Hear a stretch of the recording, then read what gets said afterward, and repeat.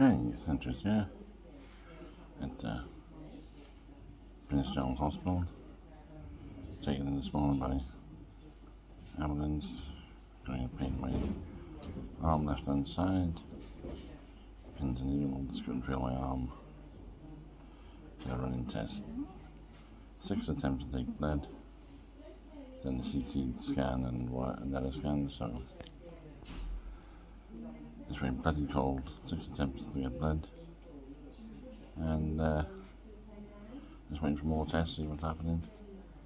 My blood pressure was 188 or 140, which is very, very, very high. So. Then it went, went down to 164. Oh, it's something that's going down. So, see, I would say not looking good for the work for the weekend. I'm going to wait my blood and get blood samples back and see if I'm okay. So I did drive, got away from and then back. So apparently 10 hour wait. So we shall see what happens. Satra will keep you updated later on in uh, part 2 and see what they diagnose. Ciao for now, Senior Sanchez.